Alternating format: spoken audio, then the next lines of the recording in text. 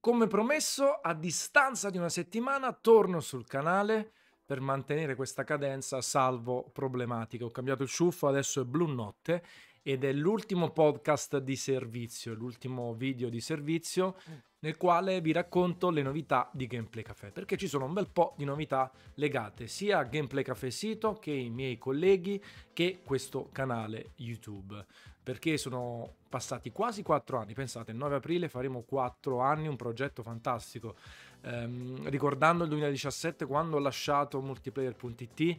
grazie al vostro super supporto anche semplicemente mentale, di messaggi, abbiamo creato Tanzan Friends, il gruppo Facebook e nell'aprile del 2018 abbiamo lanciato Gameplay Café da una pizzeria a Roma col bottone rosso, eravamo più di 50 persone e da lì abbiamo fatto tantissime cose fighe insieme, no? Eh, a partire dal crowdfunding che ci ha dato un supporto clamoroso, due crowdfunding per oltre 23.000 euro che ci hanno permesso di pagare tutti i collaboratori anche Mm, da una realtà piccolissima, minuscola, ehm, dove grazie a questi crowdfunding abbiamo pagato tutti quanti gli articoli, le news, chiaramente con prezzi, se vogliamo, anche ridicoli di mercato, ancora più bassi di quello di mercato, però abbiamo evitato di fare tutto soltanto per la gloria, per il codice regalato, perché magari tanti di voi eravate miei eh, estimatori e lettori durante gli anni e l'epoca d'oro. Abbiamo fatto le pizzate insieme, abbiamo lanciato il Late Show dei poveri che poi alla fine eh, non era assolutamente una novità, però era un qualcosa che poi ha finalmente aperto un varco perché tutti i siti, anche quelli più importanti, hanno cominciato a invitare youtuber, influencer, a invitarsi tra di loro, si è creato un maggiore senso di community. Abbiamo fatto le dirette, abbiamo fatto dei video specifici e una serie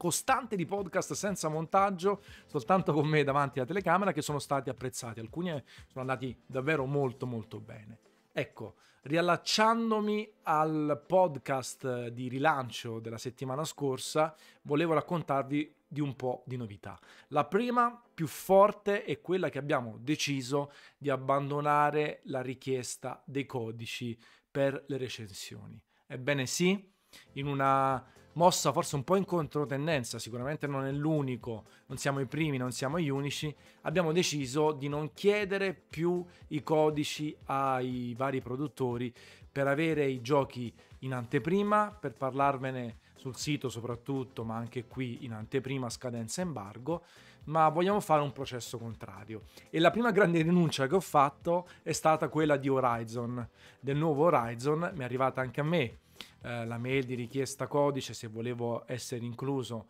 nella tornata dei codici pre-uscita, a poi a San Valentino dovrebbe scadere l'embargo per tutte le recensioni nel gioco e io ho declinato l'invito senza cattiveria ovviamente, proprio perché siamo in vista di questo nuovo corso. I codici ve ne ho raccontato forse un podcast, gli embarghi, come funzionano, questo, questo patto giustamente tra avere il gioco in anticipo, eh, seguire un embargo, eh, evitare spoiler, evitare di parlarne prima per, per ragioni anche chiaramente di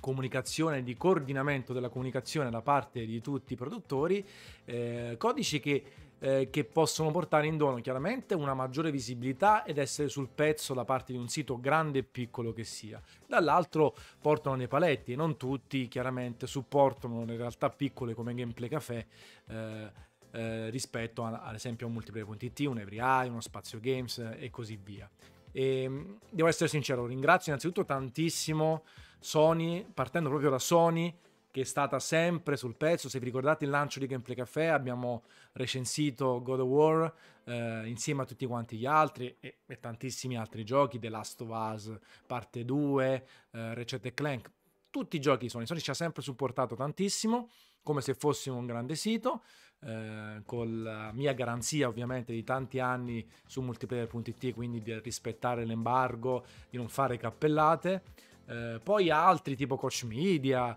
eh, Nintendo a fasi alterne, eh, e mentre altri magari sono stati meno parchi, sono stati meno generosi come Microsoft, che in realtà purtroppo ha questo grande problema di essere assente praticamente in Italia, c'è un'agenzia, però anche nella fase di lancio della nuova console non ha supportato praticamente nessuno se non i super big, eh, sempre poco responsiva, però ecco, ci sono stati dei, dei, picchi e anche non dei picchi, chiaramente non siamo stati sempre coinvolti, forse soltanto Sony davvero ci ha coinvolto in tutti i giochi grandi e piccoli, altri magari hanno fatto una selezione, ovviamente perché Gameplay Café è un punto nell'universo, ci sta che non venga trattato come i grandi siti, anche se un codice digitale con la mia garanzia poteva essere elargito comunque per cercare di parlarvi anche noi in anteprima. Però ci sono varie eh, situazioni, rapporti personali, oppure comunque il fatto che non tutti i produttori sono presenti così forti in Italia e quindi ci sono stati un po' degli alti e bassi eh, che mi hanno portato insieme ai colleghi ad fare questa decisione. Perché star dietro a delle dinamiche, a delle scadenze, quando il progetto Gameplay Café è un progetto invece di rilassamento, parlare di videogiochi con un piglio differente, quando possibile a una nicchia ristretta, senza ansia, senza clickbait, senza la volontà di essere una copia carbone. Allora, nell'ottica di trovare nuove idee, nuovi stimoli, abbiamo deciso di abbandonare completamente la richiesta dei codici e recensire i videogiochi a partire dal day one, perché a questo punto i giochi ce li compriamo noi ce li compriamo noi, abbiamo deciso di stanziare anche grazie ai vostri crowdfunding e grazie a delle idee che, di cui vi parlerò nelle prossime settimane e mese, finanziarci l'acquisto di giochi, sia AAA sia degli indie, perché è importante parlare anche delle chicche. Poi servizi proprio come il Game Pass ci vengono in aiuto perché con abbonamenti tra virgolette ridotti riusciamo ad accedere a tutti i titoli first party del day one diversi titoli successivamente quindi riusciamo ad avere una panoramica. Poi chiaramente da spirito del progetto non parleremo di tutto, parleremo di quello che sarà possibile in base al budget, in base alla tempistica di noi, eh, di Mia e di tutti i collaboratori e alla base di quello che riteniamo interessante. La recensione sarà differente ovviamente perché usciremo 7, 10, 15 giorni dopo abbiamo deciso di impostare le recensioni sotto forma di diario, una cosa differente dal solito. Quando compriamo il gioco, a cadenza regolare, cominciamo a pubblicare sul sito e talvolta anche qui su YouTube una sorta di diario di bordo, un articolo che viene aggiornato nel corso del tempo, con le impressioni quasi in tempo reale, no? le prime impressioni eh, dopo le prime due ore di gioco, eh, sulla grafica, sui menu, sulle caratteristiche e poi un aggiornamento magari a un terzo di gioco, a metà di gioco, a fine gioco e poi un commento finale un po' più istituzionale col voto. Quindi la recensione si evolve nel corso del tempo con impressioni genuine, differenti, che dovrebbero, diciamo, appassionarvi non soltanto perché diamo il nostro giudizio, magari siete ancora interessati, qualcuno di voi a sapere cosa ne penso io o cosa ne pensa Gameplay Café, ma anche un racconto un po' più personale sul pezzo, che non conosce quello che viene dopo, magari impressioni super positive che poi dopo diventano negative nel corso del tempo, oppure impressioni tiepide che poi diventano entusiaste man mano che si va avanti nel gioco e si finisce, senza darci dei paletti, eh, una data precisa. Il gioco esce, lo compriamo anche noi, soprattutto i super AAA, quelli che escono su Game Pass, indie interessanti, qualche suggerimento da parte vostra, e poi andiamo avanti nella scrittura della recensione che Forse diventa un po' Frankenstein, ma sem- tanto è sempre la stessa persona che la scrive, ovviamente. E poi con un giudizio un po' più professionale, tra virgolette, perché è frutto eh, di un, un, qualcosa che è arrivato dopo aver finito il gioco. Sicuramente mi occuperò io di Horizon con questo sistema, ci saranno i nostri collaboratori e vogliamo rendere il progetto Gameplay Café ancora più community. Quindi da ora, da questo momento, scrivendo a scemo chi legge chiocciola gameplay.cafè oppure iscrivendovi al gruppo ufficiale Telegram, chiaramente trovate i link in descrizione su Facebook ovunque andremo a pubblicare questo video. Riapriamo alla grandissima le candidature. Se volete scrivere di videogiochi, se volete fare news sui videogiochi, se volete provare a fare video sui videogiochi, siamo ancora più aperti. Facendo sempre un filtro perché purtroppo o per fortuna un minimo di controllo qualità ci deve essere, ma vogliamo tornare all'inizio del progetto. Vogliamo essere ancora di più di noi e siamo già 30 nel gruppo redazionale. Qualcuno non scrive più, qualcuno scrive ogni tanto, qualcuno è rimasto perché poi eh, ragazzi sono diventati tutti amici. Al mio compleanno a giugno vengono tutti quanti qui a Terni, addirittura facciamo una pizzata, ci vediamo durante il corso dell'anno al Comic Con, al Games Week oppure semplicemente in giro. Eh, tanti che erano miei lettori, qualcuno addirittura da fan, è diventato amico. Ci sentiamo giornalmente nel gruppo, cazzeggiamo e quindi si è creata una bella situazione virtuosa che anche a me fa gioia perché mi permette di parlare sempre di più di videogiochi, anche quando magari i numeri non ci supportano più come all'inizio, per tanti motivi che già ho spiegato nel podcast precedente. Vogliamo nuove leve, vogliamo persone che vogliono mettersi in gioco, che non hanno mai scritto, che hanno scritto, che vogliono sfogare, perché poi al di là di queste recensioni diario vogliamo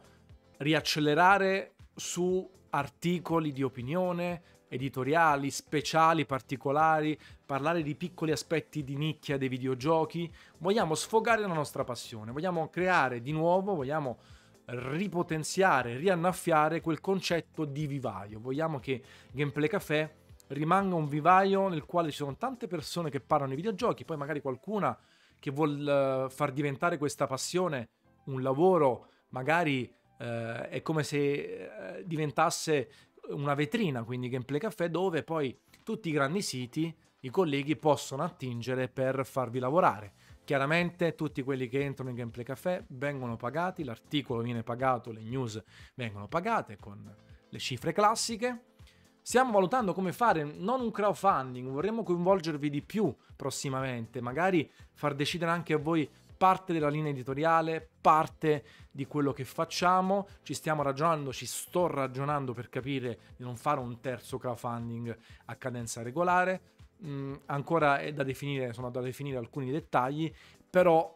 vogliamo assolutamente continuare a divertirci in un ambiente, una sorta di grande forum collettivo dove c'è chi scrive, chi commenta, chi cazzeggia, chi eh, segnala le ultime accadimenti. In queste settimane ci sono stati tantissimi, no? Activision Blizzard acquistata da Microsoft, Bungie da Sony, eh, questa sorta di shakeraggio, di ribaltamento di tante dinamiche, eh, nel frattempo che un 2022 si prospetta pieno di uscite molto importanti e potenzialmente interessanti. Dopo un 2021 in realtà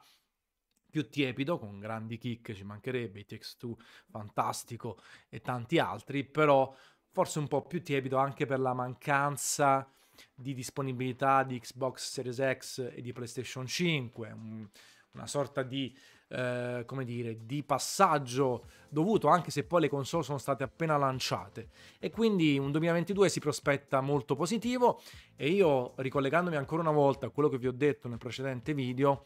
eh, ho cercato di ragionare insieme a Tommaso e a tutti gli altri eh, su come tenere viva la fiamma di Gameplay Café senza preoccuparci particolarmente dei numeri, particolarmente dei risultati, senza diventare ovviamente un mercato di fenomeni da baraccone, eh, sempre con un'idea alle spalle, ma coinvolgendovi ulteriormente. Quindi se avete voglia di scrivere ogni tanto, tantissimo, mettervi in gioco, provare, sfogare, anche se scrivete già da qualche altra parte, perché tanto noi siamo senza bandiera, potete scrivere ovunque, potete provare ovunque, ma se vi va anche di sfogare, creare la vostra rubrica o altro, e questo poi discorso lo farò anche ai miei colleghi, ai miei ex colleghi, eh, anche storici, se vorranno fare una roba del genere, noi ci siamo, ripartiamo, questo canale YouTube torna a cadenza perlomeno settimanale e dal prossimo video Ovviamente vi parlerò di argomenti videoludici, basta annunci per un po', eh, così come sul sito, su Instagram che è bello attivo e su tutti i canali personali. Quindi questo è quanto. Gameplay Café riparte ma non si è mai fermato, sono io che mi sono un po' fermato, Gameplay Café non si è mai fermato una capata in bocca, scemo chi legge, chiocciolagameplay.cafè, scrivetemi in privato se vi va, però comunque non è il primo canale, oppure sul gruppo Telegram. Noi ci vediamo presto, la passione dei videogiochi è sempre intatta e di nuovo una bella capata in bocca. Ciao a you!